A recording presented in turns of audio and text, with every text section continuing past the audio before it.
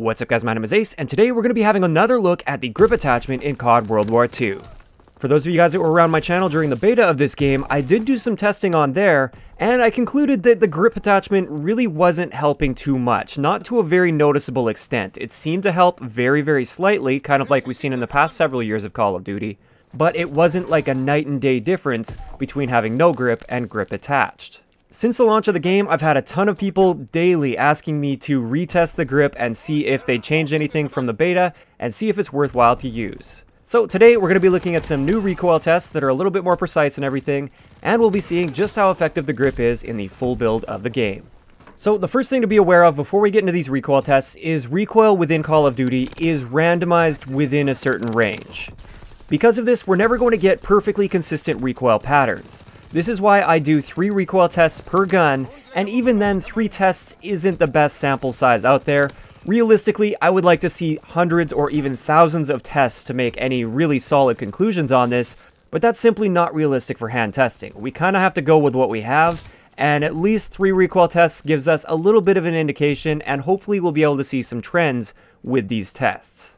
So I'm not going to bore you with watching every single one of these recoil tests and everything. I'm mainly just going to be showing you guys the results of those recoil tests and try to present them in a very easy to view format. But keep in mind, I just took a selection of weapons in the game. I didn't test every single weapon because that's simply not practical time-wise. I don't have that much time in a day to be doing that, even though I do spend almost all of my day making videos. But I tried to select a decent variety in types of weapons. So we've got like a semi-auto rifle, we've got a full auto rifle, we've got a few different SMGs in there, we got an LMG mixed in there, just a decently wide variety of weapon types.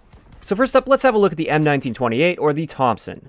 With this one, with no grip, you can see there, it kicks pretty much up and to the right fairly consistently. Then we pop the grip on there, and as you can see, we got one pattern that looked like it was pretty much the same as the previous pattern. The second pattern was almost no recoil at all. That was quite surprising to see. And then the third pattern kicked almost straight right, and it went right off of our recoil plot. So relatively inconsistent here, but it does appear that there is a bit of a reduction with that grip attachment. The problem with this is it's just extremely inconsistent.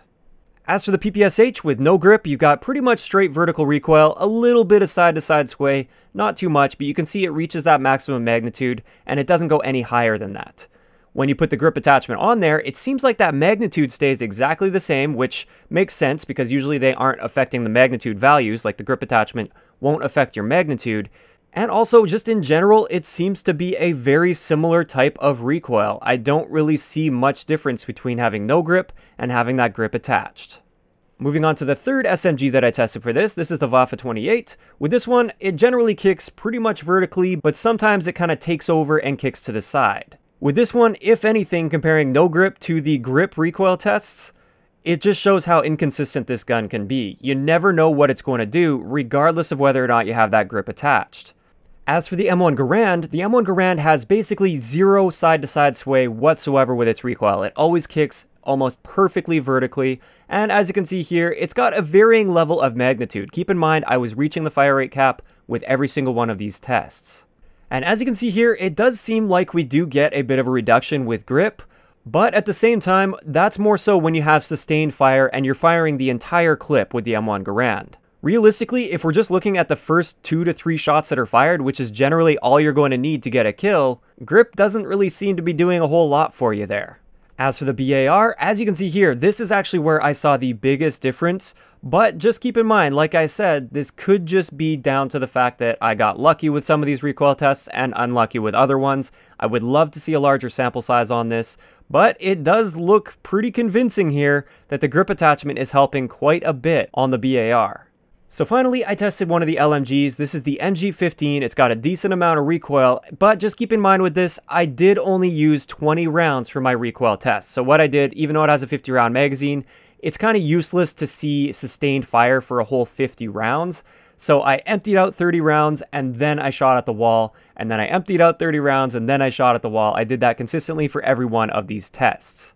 So you can see the trend with this one is it generally kicks vertically pretty strong and then it tends to drift a little bit to the right. Without grip, you can see with that middle test, the horizontal recoil really took over and it kicked really hard to the right and it's all over on top of my third recoil test at that point. Whereas with the grip attachment, we didn't see that. Again, just could have been a fluke, we don't really know. However, I will say it looks like, according to these tests at least, with the grip attachment, you get a bit more consistency with the MG15.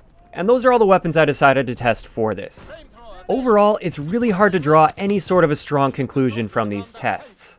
There's no doubt in my mind that the grip attachment is working as intended, we just don't know which recoil value it's affecting. Is it affecting our view kick, our center speed, some form of gun kick, or a combination of those?